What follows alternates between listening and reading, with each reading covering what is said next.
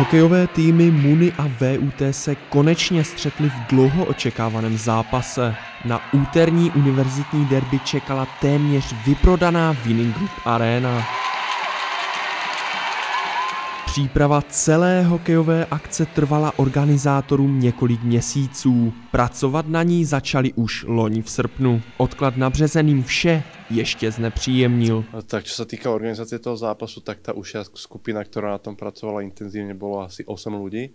Tomu sa samozrejme prirátali dobrovoľníci a externisti a plus sme spolupracovali ešte so spolkami, ktoré nám pomáhali s predajom lístkom, pomáhali nám s organizáciou študentského prúvodu. Keď to komunikujete, že už dvakrát ste preložili termín, tak niektorí ľudia sú nahnevaní. My by sme chceli nadviazať na, na tradíciu, ktorá tu uh, bola v, v minulosti. Uh, ako nový subjekt sme chceli priniesť uh, späť to, čo, čo už tu bolo a čo tu fungovalo.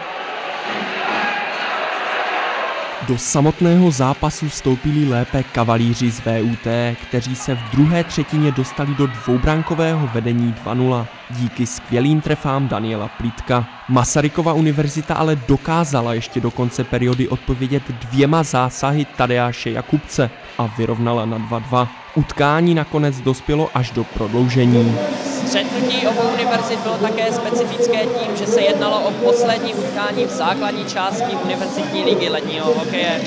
HC Mudny prohrála nad VUT Cavaliers 2-3 a končí na pátém místě tabulky. Pro Muni TV Vladina Kovandová a Patrik Stankov.